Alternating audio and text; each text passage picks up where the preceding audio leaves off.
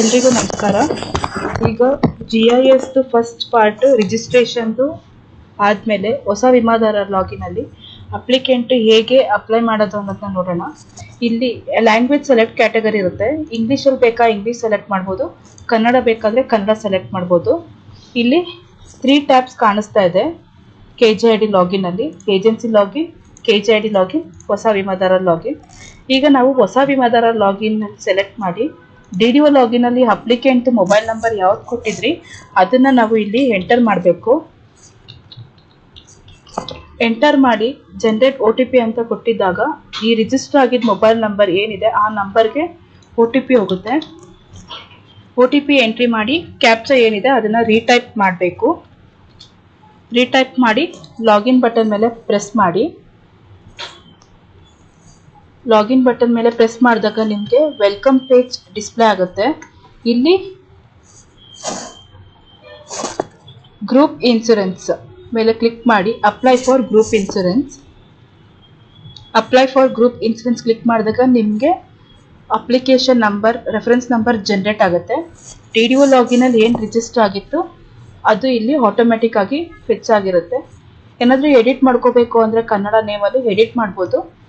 ಇಲ್ಲಿ ಅಪ್ಲಿಕೆಂಟ್ದು residential address ಏನಿದೆ ಅದನ್ನ ಇಲ್ಲಿ ಟೈಪ್ ಮಾಡಬೇಕು.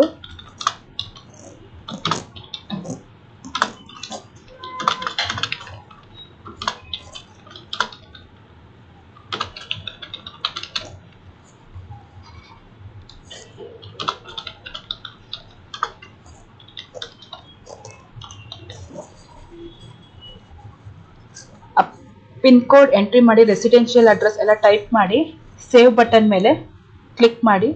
ಸೇವ್ ಬಟನ್ ಮೇಲೆ ಕ್ಲಿಕ್ ಮಾಡಿದಾಗ ಆಟೋಮೆಟಿಕ್ಕಾಗಿ ನೀವು ಏನು ಡೀಟೇಲ್ಸ್ ಫೆಚ್ ಆಗಿದೆ ಅದು ಸೇವ್ ಆಗುತ್ತೆ. ಸೇವ್ ಬಟನ್ ಮೇಲೆ ಕ್ಲಿಕ್ ಮಾಡಿ ನೆಕ್ಸ್ಟ್ ಬಟನ್ ಮೇಲೆ ಕ್ಲಿಕ್ ಮಾಡಿ. ನೆಕ್ಸ್ಟ್ ಬಟನಲ್ಲಿ ನಿಮಗೆ ಇಲ್ಲಿ ಸೆಲೆಕ್ಟ್ ಬರುತ್ತೆ. ಇಲ್ಲಿ ಸೆಲೆಕ್ಟಲ್ಲಿ ನಾಮಿನಿ ಯಾರಿಗೆ ಹೋಗುತ್ತೆ, ಅದನ್ನು ಸೆಲೆಕ್ಟ್ ಮಾಡ್ಕೋಬೇಕು. ಯಾರಿಗೆ ನಾಮಿನಿ ಕೊಡ್ತೀರ ಅನ್ನೋದು ನಾನು ನನ್ನ ತಂದೆಗೆ ಕೊಡ್ತೀನಿ.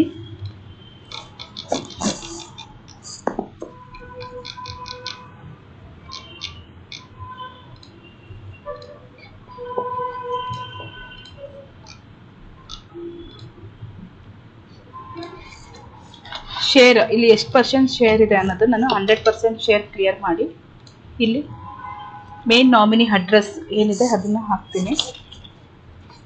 ಇಲ್ಲಿ ಸೆಲೆಕ್ಟ್ ನಾಮಿನಿ ಅಡಿಷ್ ಆಲ್ಟರ್ನೇಟ್ ನಾಮಿನಿ ರಿಲೇಷನ್ ಏನಿದೆ ಅದನ್ನು ಹಾಕಿ.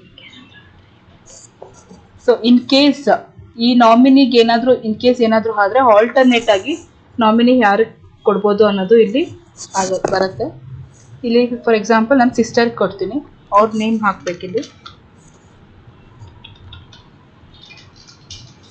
ಇಲ್ಲಿ ಆಲ್ಟರ್ನೇಟ್ ನಾಮಿನಿ ಅಡ್ರೆಸ್ ಕೇಳುತ್ತೆ. ಅವ್ರದ್ದು ಆಲ್ಟರ್ನೇಟ್ ನಾಮಿನಿ ಯಾರಿಗೆ ಕೊಟ್ಟಿರ್ತೀವಿ ಅವ್ರದ್ದು ಇಲ್ಲಿ ಅಡ್ರೆಸ್ನ ಟೈಪ್ ಮಾಡಬೇಕು.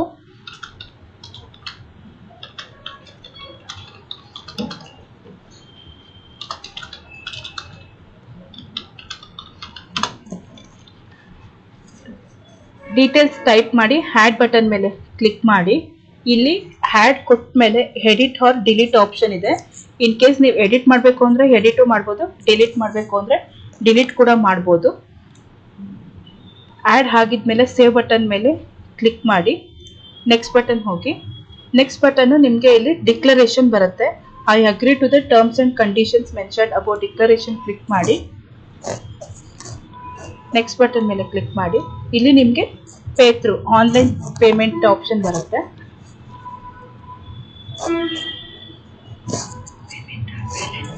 ಸೊ ಫಿನಿಶ್ ಬಟನ್ ಮೇಲೆ ಈಗ ಕ್ಲಿಕ್ ಮಾಡಿ ಪೇಮೆಂಟ್ ಆಗಿದ್ಮೇಲೆ. ಫಿನಿಶ್ ಬಟನ್ ಮೇಲೆ ಪೇಮೆಂಟ್ ಆಗಿದ್ಮೇಲೆ ನಿಮಗೆ ಅಪ್ಲಿಕೇಶನ್ ಫಾರ್ಮು ಜನ್ರೇಟ್ ಆಗುತ್ತೆ. ಅಪ್ಲಿಕೇಶನ್ ಫಾರ್ಮ್ ಜನ್ರೇಟ್ ಆಗಿದ್ಮೇಲೆ ನೆಕ್ಸ್ಟ್ ಬಟನ್ ಮೇಲೆ ಕ್ಲಿಕ್ ಮಾಡಿ. ಇಲ್ಲಿ ನೀವು ಅಪ್ಲಿಕೇಶನ್ ಫಾರ್ಮ್ ಅಪ್ಲೋಡ್ ಮಾಡಬೇಕು.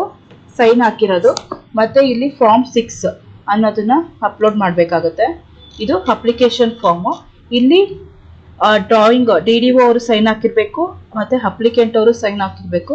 ಇದನ್ನು ಮತ್ತೆ ಪಿ ಡಿ ಎಫ್ ಮಾಡಿ ಅಪ್ಲೋಡ್ ಮಾಡಬೇಕು ಇಲ್ಲಿ ಅಪ್ಲಿಕೇಶನ್ ಫಾರ್ಮಲ್ಲಿ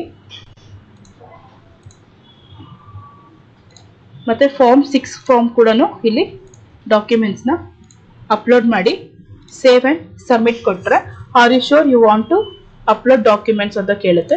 ಓಕೆ ಬಟನ್ ಮೇಲೆ ಕ್ಲಿಕ್ ಮಾಡಿದಾಗ ಅಪ್ಲಿಕೇಶನ್ ಜಿ ಐ ಎಸ್ಗೆ ಅಪ್ಲಿಕೇಶನ್ ಪ್ರೊಸೆಸ್ ಏನಿದೆ, ಅದು ಸಬ್ಮಿಟ್ ಆಗುತ್ತೆ. ಇಲ್ಲಿ successfully submitted to D D O ಅಂತ ಬರುತ್ತೆ. ಸಬ್ಮಿಟ್ ಆಗಿದ್ಮೇಲೆ ಡ್ರಾಯಿಂಗ್ ಆಫೀಸರ್ ಲಾಗಿನ್ ಏನು ರಿಜಿಸ್ಟರ್ ಆಗಿದ್ವಲ್ಲ, ಅವ್ರ ಲಾಗಿನ್ಗೆ ವೆರಿಫಿಕೇಶನ್ಗೆ ಹೋಗುತ್ತೆ. ಇದು ಇನ್ಶೂರ್ಡ್ ಅಪ್ಲಿಕೇಶನ್ ಹೇಗೆ ಅಪ್ಲೈ ಮಾಡ್ತಾರೆ ಜಿ ಎಸ್ಗೆ ಅನ್ನೋದು ವಿಡಿಯೋ